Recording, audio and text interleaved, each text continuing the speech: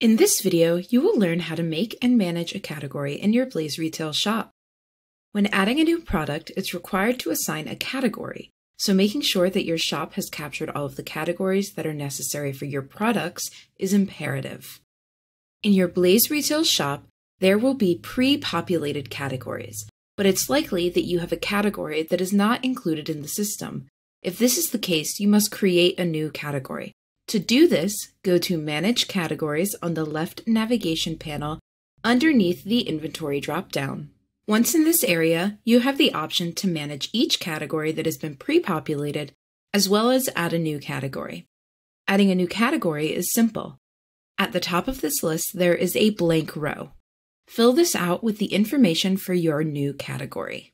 Enter the category name, select the category type, cannabis or non-cannabis, and the category unit, whether the product is measured in grams or individual units. Finally, choose the amount that you'd like to be notified if there is low inventory for this product category, and select the plus sign to complete.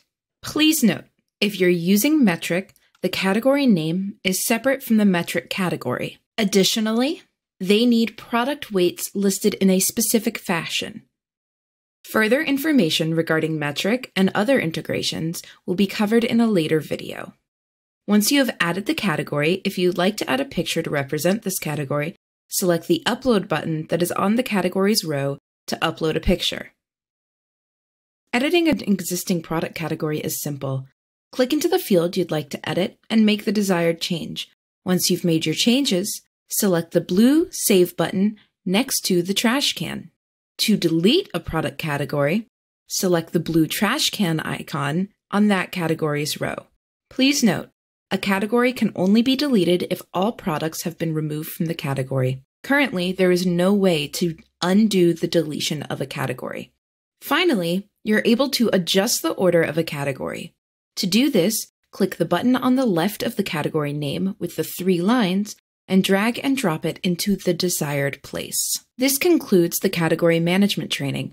Up next is a training on how to make a product. Have a great day.